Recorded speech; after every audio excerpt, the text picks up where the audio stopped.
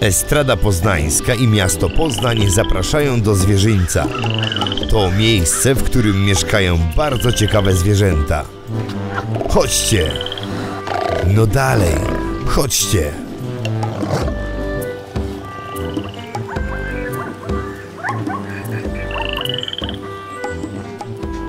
Dzień dobry. Zapraszamy na kolejne spotkanie z naszym szczęśliwym zwierzyńcem. Tu każde zwierzę się uśmiecha. Dziś spróbujemy podejść do lamy, ale ostrzegam, lama może opluć. Co ciekawe, nie plują śliną, a niezbyt dobrze pachnącą wydzieliną z żołądka. I co gorsza, celują zawsze w oczy przeciwnika. Także pierwsza zasada: nie stresujemy lamy. Uśmiechnięta lama to najładniejszy widok.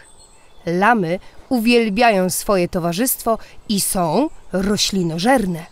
Uwielbiają jeść trawy, krzewy, korę i młode pędy drzew.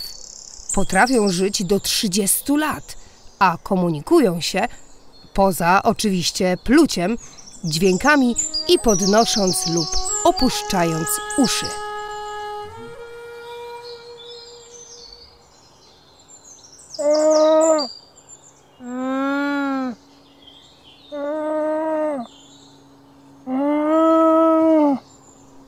Lama. Zawsze stadna dama. Dziwi zatem, czemu lama na polanie mieszka sama.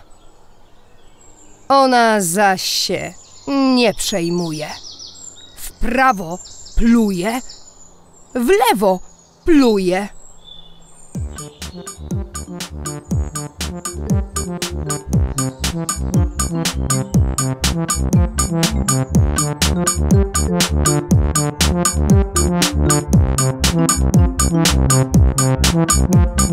Lama, lama, lama, zawsze stadna dama. Dziwi zatem czemu lama na polanie mieszka sama. Lama, lama, lama, zawsze stadna dama. Dziwi zatem czemu lama na polanie mieszka sama. Lama, lama, lama, zawsze stadna dama. Dziwi zatem czemu lama? Na polanie mieszka sama Lama, lama, lama, zawsze stadna dama. Dziwi zatem czemu lama? Na polanie mieszka sama Ona zaś się nie przejmuje. W prawo pluje, w lewo pluje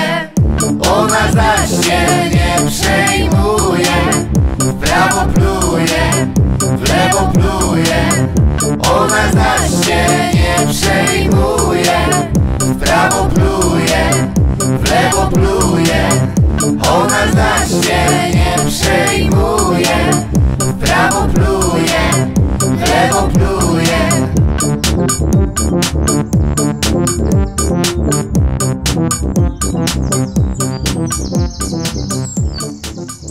A teraz zadania dla Was. Po pierwsze, gdzie żyją lamy?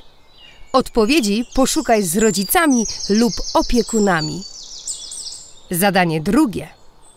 Poproś, by cię zmierzono, a następnie poszukaj informacji o wysokości lamy i porównaj oba wyniki. I co? Kto jest wyższy?